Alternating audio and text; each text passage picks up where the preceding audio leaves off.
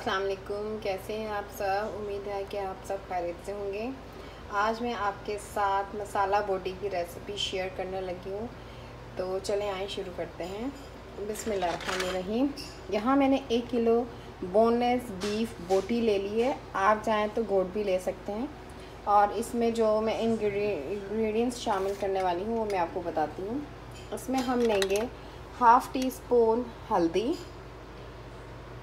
half teaspoon salt, two teaspoon जो है सूखे धनिया और one and half teaspoon लाल मिर्च पिसी हुई और एक हम ले लेंगे जलवंतरी का पीस और हम इसमें शामिल करेंगे वन टेबल स्पून गरम मसाला और वन टीस्पून ज़ीरा पाउडर और हाफ़ टी स्पून मैं यहाँ करी पाउडर ले रही हूँ, ये ऑप्शनल है। मैंने लिए हैं टू टेबल स्पून लहसुन अदरक का पेस्ट और हाफ़ टी स्पून मैंने ली है कसूरी मेथी और दो मैं इस्तेमाल करूँगी हरी मिर्चें और दो ही टेबल स्पून मैंने लिए हैं लेमन जूस और इसमें हम शामिल करेंगे half cup oil half cup दही और दो मीडियम साइज़ की प्याज को लेके फ्राई करना है तो मैंने जो है रेडीमेड प्याज ली है।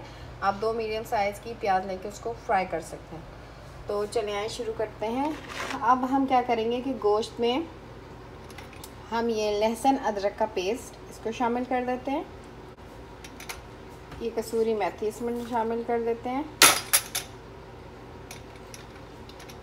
इसमें हम हल्दी पाउडर को शामिल कर देते हैं। हाफ़ टी स्पून हल्दी पाउडर है और हाफ़ टी स्पून सॉल्ट है। टू टीस्पून सूखा धनिया है।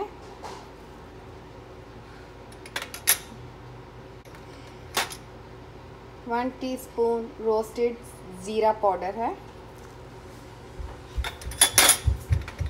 One and half teaspoon लाल मिर्च है।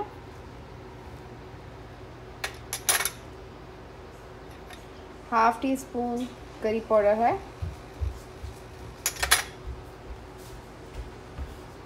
Half teaspoon, half cup oil है।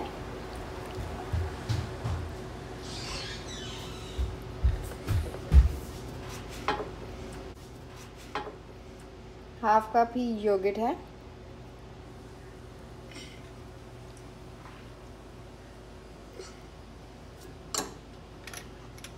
और ये हमारे पास जो फ्राइड ओनियन थी, इसको शामिल कर लेंगे।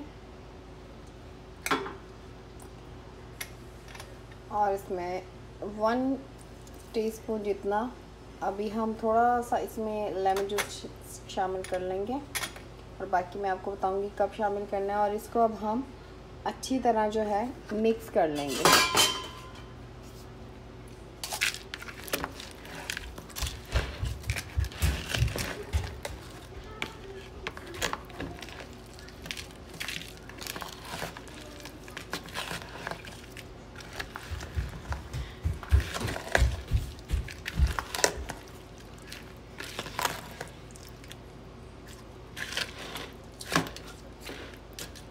इस गोश्त को अब हमने अच्छी तरह मिक्स करने के बाद और इसमें हम एक जो जलवंतरी का फूलसा है, इसको हम शामिल कर देंगे। और इसको हम अब मैरिनेट करके दो से तीन घंटे या ओवरनाइट भी आप रख लें। तो अगर टाइम नहीं है तो आप राइट अवे भी इसको कुक कर सकते हैं, लेकिन मैं इसको जो है एक घंटे के लिए मैरिनेट करी हूँ। फिर मैं इसको बताती हूँ कि इसको आगे कैसे बनाना है। अब तकरीबन घंटा हो गया है। जो मैंने मैरिनेट गोश्त किया था, मैं कुकर में बना रही हूँ। आप लोग इसको पतीले में भी बना सकते हैं। तो अब मैं ये अपना सारा गोश्त जो है, ये कुकर में डालूँगी।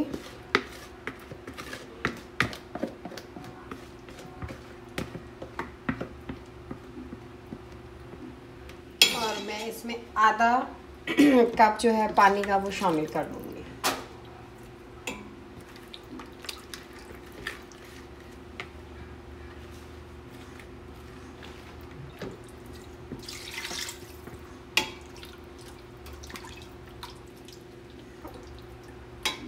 और अब मैंने अपना चूल्हा जो है वो ऑन कर लिया है। तो जैसे इसमें उबाल आएगा, फिर इसको बंद करके मैं इसको टेन मिनट की स्टीम दूँगी। तो अभी मैं आपको आगे दिखाती हूँ। अब आप देख सकते हैं कि गोश्त पकने लगा है। तो इसको अब हम इस, मैं अब कुकर को बंद करने लगी हूँ। और जब इसमें स्टीम आ जाएगा तो मैं 10 मिनट की इसको स्टीम दूँगी। और उसके बाद मैं आपको बताती हूँ कि आगे हमें क्या करना है। ये देख रहे हैं हमारा गोश्त भून रहा है।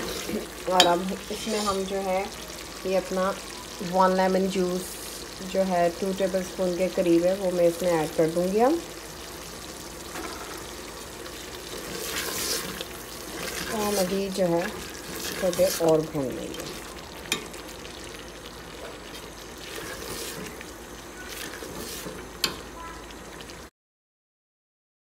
देख सकते हैं कि हमारा जो मसाला बोटी है, वो बिल्कुल बन के तैयार है और सारा जो ऑयल है, वो अच्छी तरह ये भून गया है और जो मसाला है सारा वो बोटियों के साथ अच्छा सा लग गया है। तो ये हमारा फाइनल लुक है और इसमें हम अब जो है अपना आधा गरम मसाला जो मैंने वन टेबल स्पून भर के लिया था, थोड़ा सा मैं ऊपर से डालने के लिए रखूँगी।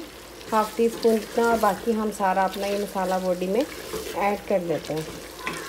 तो अब मैं आप लोगों को इसको डिश आउट करके इसका फाइनल लुक दिखाती हूँ कि हमारी मसाला बोटी कैसे लग रही है। हमारी मसाला बोटी बन के तैयार है। उम्मीद है कि आप लोगों को पसंद आई होगी। इसको ज़रूर ट्राई कीजिएगा और कमेंट्स में मुझे बताइएगा कि आप लोगों को कैसी लगी।